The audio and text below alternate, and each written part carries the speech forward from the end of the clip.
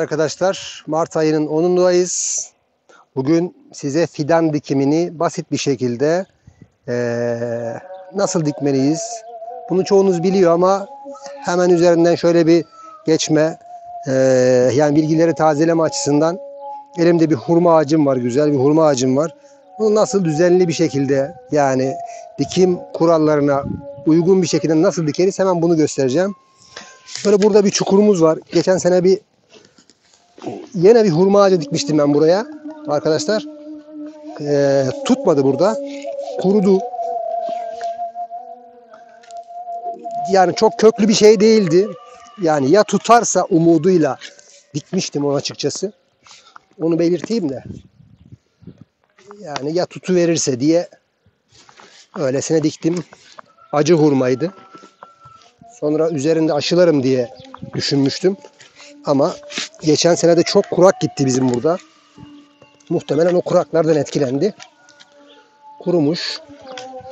Hemen bu sene yeni baş, daha başka bir yerde Safranbolu'da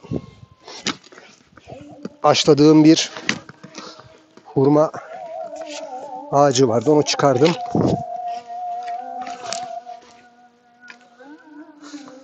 Onu dikeceğim şimdi buraya.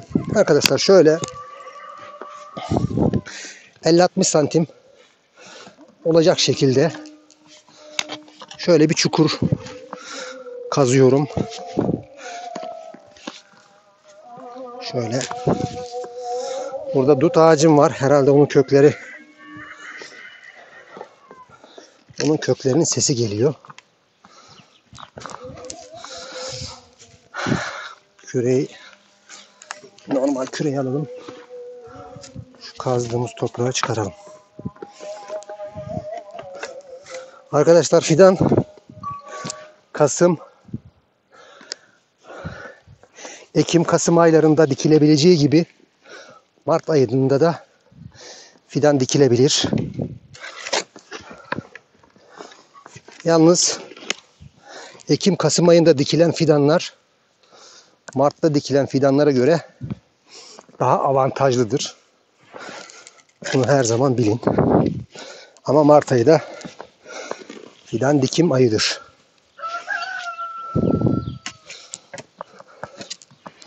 Şöyle yaklaşık 50 santim oldu. Şu şekilde şöyle genişliği de arkadaşlar genişliği de yine 50-60 santim var.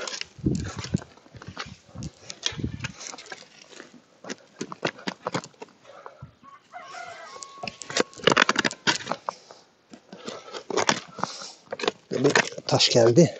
Evet.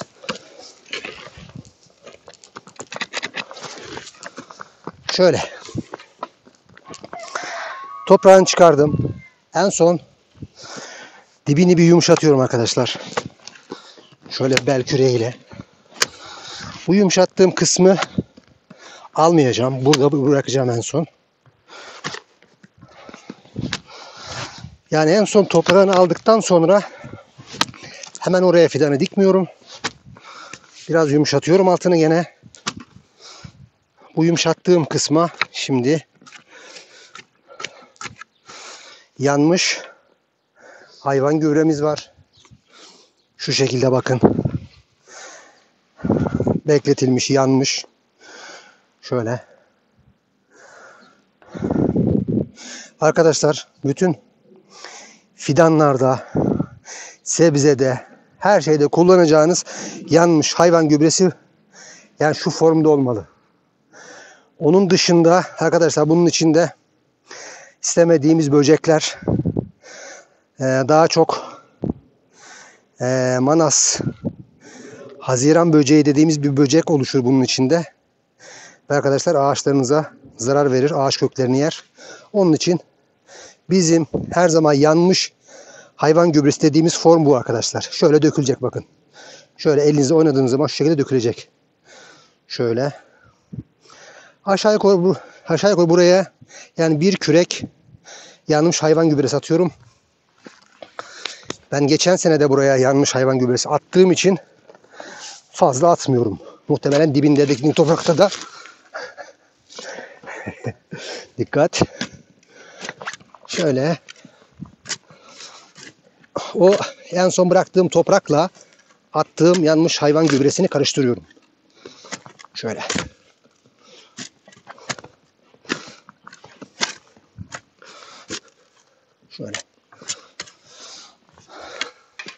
Belki bir avuç daha atabilirim.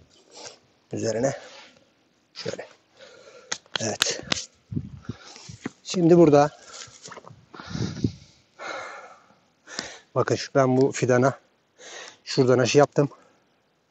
Arkadaşlar altı acı hurmaydı. Buradan yarmaş yaptım. Güzel sürdü. Ee, arabaya sığmadığı için biraz budamasını yaptım. Yani aşağı yukarı dikim budamasını gerçekleştirmiş olduk. En son dikerken arkadaşlar şöyle makasımızı elimize alıyoruz. Çok güzel köklenme var bakın. Şu ana dalı şunu mecburen kestim. Çok uzuyor çünkü bu. Çok uzun gidiyor. Şöyle köklerin içinden çok uzamış olanları şöyle şu şekilde kırılmış olanları yaklaş oğlum.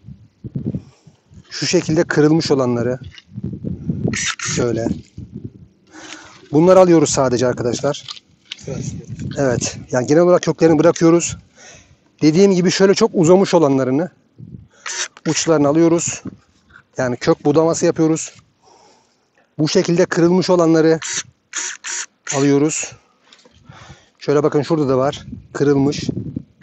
Kökleri bu şekilde dikmiyoruz. Şöyle. Arkadaşım biri öyle diyor. Şeyin altına yazmış. Ya her aklına geleni söylüyorum videoda diyor. ya ne yapayım arkadaşlar şimdi yani şeyde değiliz. Yani okulda değiliz. Bir resmi kurumda değiliz. Yani ben böyle seviyorum. Yani doğal olarak doğal. Böyle yani samimi, yapmacık. Ee, Yani benim tarzım değil. Bakın şurada da göster oğlum. Bak burası kırılmış. Bunu hemen bu şekilde dikmiyorum. Şöyle alıyorum bunu buradan. Şöyle. Var mı başka kırık? o? O kırık kok çalışmaz oğlum orada. Yani bunu buradan kestim ki bakın şuradaki kökleri, şuradaki yanında kökleri daha da kuvvetlenecek. Yani yani kök sisteminde budamış oluyoruz. Nasıl ağacı budadığımız zaman daha kuvvetli sürgün veriyorsa kök sisteminde budadığımız zaman onlar da kuvvetli sürgün verir. Böyle dediğim gibi çok uzun olanlarını çok uzun olanlarını uçlarını alıyorum. Onu diğer saçak köklere dokunmuyorum ve kırılan kökleri alıyorum ve ağacımı bu şekilde yerleştiriyorum arkadaşlar. Şöyle. Biraz tele yakın oldu gibi ama e, komşumuzla e, münasebetimiz çok iyi. Çok şükür. İyi bir komşuluğumuz, komşuluğumuz var. E, kulakları çınlasın Çavuş abi. Onun için bir sıkıntı yok aramızda. Olmaz da. E, onun için aslında asıl olan şu sınırdan en az 2 metre e, içeri dikmekte. E, sonra sonra bu ağacın e, bu dalları o tarafa değer, o tarafa gider. Onun, o taraftaki dallar bu tarafa gelir. Bak onlar nizami dik, dikmişler aslında. E, ama bu hurma ağacı çok böyle dallanıp hani yani ceviz gibi veya dut gibi böyle çok aşırı büyümez. Aşırı büyüdüğü zaman da e, ya ya biz komşuya deriz ki abi öbür taraftaki yani senden yani size geçen dallar sizin yiyin afiyet olsun. Yani bu taraftakiler bizim deriz. Hiç sıkıntı olmaz aramızda. Onun için şöyle biraz yakın diktik. Hemen buna bir herek herek var şurada. Şu kaç santim toprak altına kalacak peki? Neyin? Ağacın. İşte bak dedim ya şu çukur, şu çukur en az eee, 40-50 santim olmalı. 40-50 santim kazdık. Ondan sonra toprağı yumuşattık. Onu oraya hayvan gübresi attık. Sonra hayvan gübresinin üzerine onu eee, direkt ağacımızı yerleştirdik. Bu eee, arkadaşlar yerme aşı olduğu için tek gövde olarak eee, çıktığı için bunun aşı yönünün kuzeye güneye bakmasında bir sıkıntı yok. Bakın hemen şunu sabitleyelim önce. Şuraya. Neyle çakabilirim bunu? Şurada taş var. Evet. Şöyle o aklımıza gelmedi. Şöyle doğal bir malzeme. Evet. Bunu sabitliyorum buraya. Arkadaşlar sonra fidanımı bu şekilde yerleştiriyorum ve fidanı buna şu sabitleme çubuğuna bağlayacağım arkadaşlar. Nedeni nedeni rüzgarda bu fidan sallandığı zaman e, sallanmasın. Sallandığı zaman arkadaşlar kökleri de sallanır. Ağaç bir türlü e, koyduğumuz yere tutunamaz. Yani sürekli sallandığı için. Ama bundan sabitlersek biz Allah'ın izniyle sallanmayacaktır fidanımız. Yani kökleri sallanmayacaktır. Gövde sallanmayacak. Gövde sallanmadığı için de kökler de sallanmayacaktır. Şöyle toprağımızı atmaya başlayalım.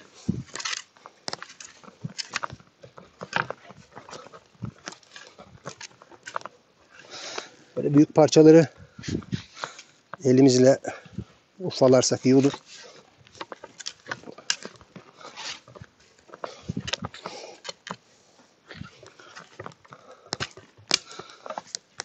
Burası arkadaşlar, burası hobi bahçesi yani. Hani yani öyle bir yere diktin ki fidan öyle bir yerde gösterdin ki diye aklınıza gelebilir. Arkadaşlar bizim videolarımız yani profesyonel eee, kişilere yönelik değil. Ben her zaman diyorum benim videolarım eee, amatör arkadaşlara kendi bağında bahçesinde fidan dikecek, aşı yapacak, budama yapacak kişilere yönelik bizim videolarımız. Yoksa yani yeniden sıfırdan bahçe kurulumuyla eee, falan bizim o şekilde bir amacımız da yok videoların videolarımızın yayınlamış yayınlanış amaçlarımızda amacımızda. Şöyle toprağa bastırıyorum burada. Şu şekilde biraz toprağı çok da sert bir hale getirmeyeceğim. Şöyle bağlayacağım. Nasıl düz şöyle. İyi değil mi böyle? Şöyle. Şöyle bırakmayın arkadaşlar bakın. Şöyle bırakmayın. Bu burada sallanır bu şekilde rüzgarda. Şuradan ağacı yer. Geçen bir arkadaşın bahçesinde gördüm onu. Şu şekilde sabitleyin böyle. Sıkı sıkıya sabitleyin. Hemen burada şöyle can suyumuzu can suyumuzu veriyoruz. Yaklaşık 10-15 litre su vermek gerekiyor. İlk dikimde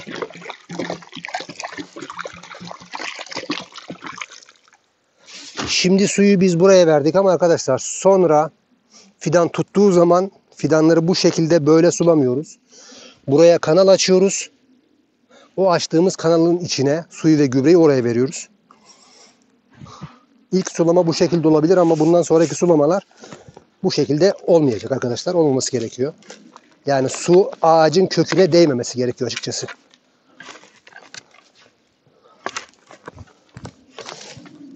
Şunu alayım şuradan.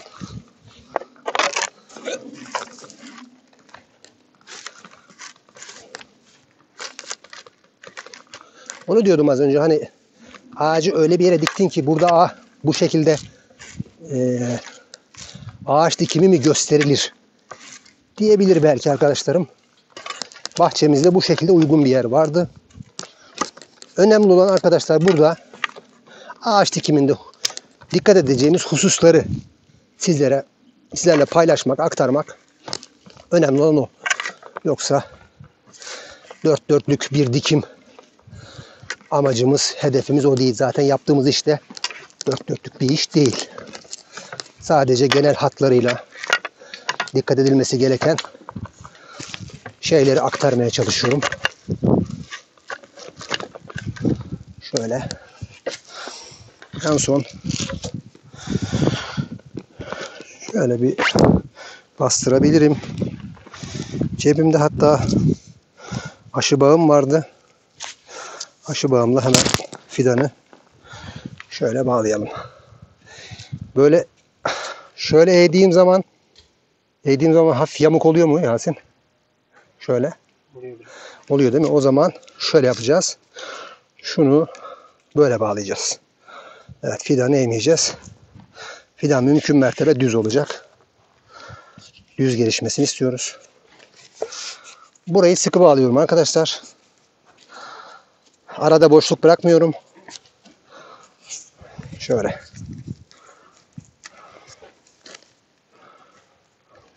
Evet. Şu şekilde şöyle gayet güzel oldu. En son toprağın üzerine şöyle bir avuç gene yanmış hayvan gübresi serpebilirim. Bu da yağmur yağdığı zaman buradaki ağacın besini olacak. Evet arkadaşlar fidan dikimini kısaca anlatmaya çalıştım. Bu hususlara dikkat ederek fidan dikerseniz fidanınız eee, gayet başarılı bir fidan dikimi olmuş olur. Hemen şöyle biraz daha kısaltalım bunları. Şöyle. Ben arabaya sığmadığı için kısaltmıştım. Şöyle. Şöyle. Bu şekilde. Bazen görüyorum arkadaş fidan dikmiş böyle. Ya bütün bütün dallar üzerinde. Arkadaşlar ilk sene böyle bu şekilde bir fidanı diktikten sonra veya dikmeden önce böyle budama yapmanız gerekiyor ki ağaç yani köküne mi baksın ee, ya bu dallara o bıraktığınız bütün dallara ee, su ve besin iletmeye mi çalışsın? İkisini birlikte yapamayacaktır.